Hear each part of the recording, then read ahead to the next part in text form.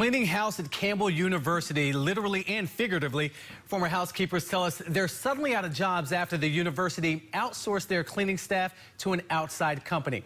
Kayla Strayer is getting answers live in Harnett County, and Kayla so close to Christmas. Yeah, so the two women I talked with today, they spent nights working to clean this building every night. They say the plan was to help put their kids through college here. That all changed, though, right before Christmas. From birthday celebrations to a Waffle House lunch break, these coworkers shared a tight bond while working at Campbell University.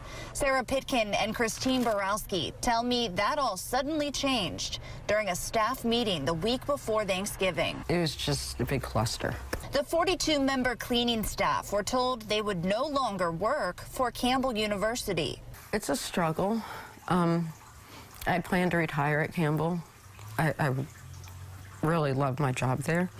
From then on, they would work for CleanNet, the commercial cleaning company hired by the university to manage things. And give people a chance to ask questions and answer them honestly instead of just passing it off on to CleanNet. It was frustrating, a little angry because um, we weren't getting any answers. Both women say they worked for CleanNet a few weeks until they were suddenly fired this month. It really did suck that it was so close to the holidays and Christmas. As Sarah explained to her kids, some decisions had to be made and that my job was cut. And Surprise, I'm going to be home now. The university emailed CBS 17 a statement saying the move was, quote, a strategic realignment of resources that will help maintain essential services.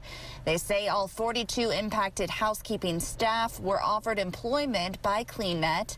But these women say longtime dedicated employees are now without a job and without their benefits. They dedicated their life to, to Campbell.